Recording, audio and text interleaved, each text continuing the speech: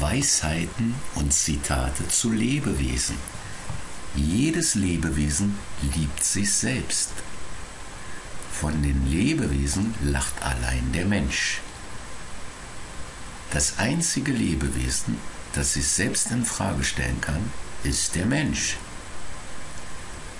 Alle Lebewesen außer dem Menschen wissen, dass der Hauptzweck des Lebens darin besteht, es zu genießen. Ein Lebewesen lieben heißt, es durchsichtig zu machen.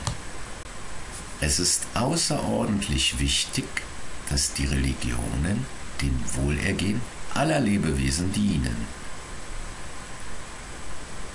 Weisheit besitzen alle Lebewesen.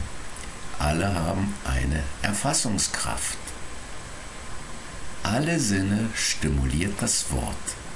Die Sprache ist ein Lebewesen.